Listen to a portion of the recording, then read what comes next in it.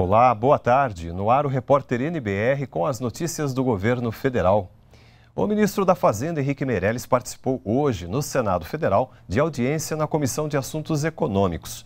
O ministro disse que a meta fiscal vai ser cumprida pelo governo e citou dados que comprovam a retomada da economia do país, como inflação e juros baixos.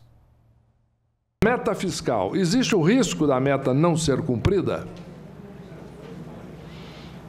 Não. É, a meta fiscal. Nós vamos cumprir, sim, a meta fiscal é, deste ano. Isso é que levou a um aumento da confiança da economia, a, em consequência, queda da taxa de juros real, estrutural da economia, queda da inflação, etc. Por quê? A trajetória de insustentabilidade da dívida pública foi quebrada. E o governo federal prorrogou até o dia 14 de novembro o prazo para os empresários aderirem ao programa de regularização tributária, o REFIS, que é o financiamento de dívidas com a União.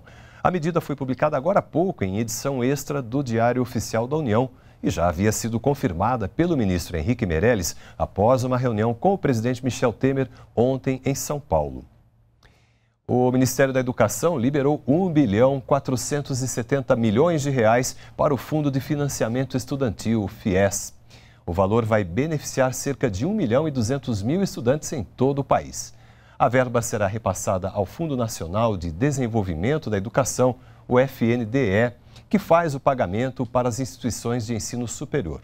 Com esse repasse, o Ministério da Educação mantém o cronograma de liberações para o FIES.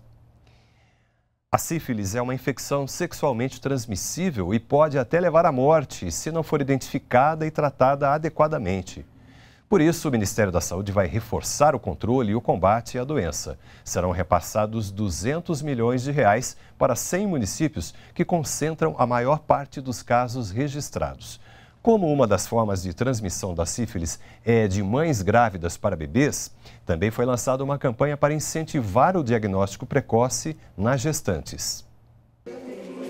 Para conter o avanço da sífilis no país, o governo federal vai intensificar as ações de prevenção, diagnóstico e tratamento da doença. Uma das medidas é destinar 200 milhões de reais para as 100 cidades que concentram 60% dos casos de sífilis. Uma das metas é reduzir a sífilis congênita, passada das mães para os bebês durante a gravidez ou no parto. Em 2016, foram notificados quase 37.500 casos de sífilis em gestantes. Por isso, outra meta é ampliar a testagem durante o pré-natal. O aumento da testagem pressupõe o aumento de identificação de pessoas com sífilis. Nós pretendemos dobrar de 6 milhões para 12 milhões o número de testagens deste ano para o ano que vem. Quanto mais nós identificamos gestantes com sífilis, menos crianças nascem com sífilis congênita, porque nós identificamos o problema, tratamos a mãe e a criança então não tem a sífilis congênita. A intensificação da testagem será incentivada por uma campanha também lançada hoje. Assim, o público-alvo são jovens de até 35 anos, casais e gestantes. Faça o teste de sífilis, proteja o seu futuro e do seu filho.